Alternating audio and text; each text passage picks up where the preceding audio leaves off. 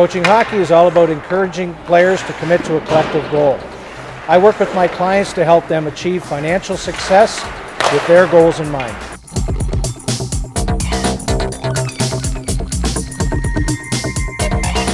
How confident were you eventually you would get that, that, that game? Well, I think when you keep pressing uh, for the majority of the game, good things are going to happen. And uh, you know, Fuchs played really solid for us. He made some key saves, and um, you know, I thought their goalie played really well. As, you know, just like Fuchs, I think. Um, you know, he deserved the first start tonight. Um, he made some big saves for them, but you know, we, we, were pressing the whole game and we were really peppering him, and I think um, you know definitely deserved it. Tell me about the, the overtime winner as, as, a developer from your perspective. Um, I think Joe tried to hit me in the middle, and uh, he fan on the pass, and um, I was ready to get my horse and go on the back check, and looked over my shoulder again. He was and he was coming in the slot, so um, just tried to get open for the pass. Honestly, I was about to shoot, and I saw him at the corner of my eye in the back door, and um, you know he was screaming for it. I'm glad he did, and. Uh, you know, he, he makes definitely those things look easy, and he's an unbelievable player. And um, I thought it was really really solid give and go play, and um, it's really fun to score with, with Joe. It's uh, it's definitely a cool feeling.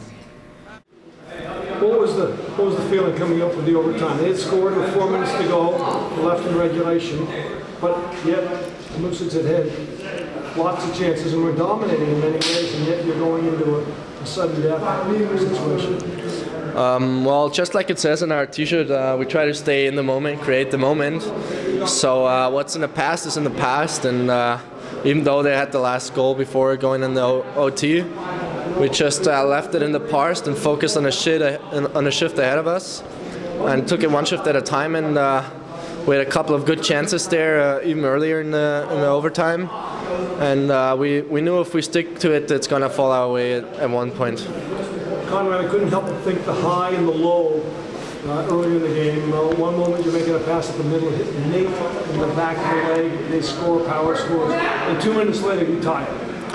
Uh, well, just like I said, we, we try to live in the moment. Uh, of course, I was I was mad at myself for uh, screwing up that play, but I knew that I couldn't be uh, mad at myself and thinking back on that play, and uh, so I just tried extra hard to get back in the game and uh, give our, our team a chance. And I was happy to do that by scoring the goal and got a great feed from Brent and uh, redeem myself there. And from there, I just kept playing my game.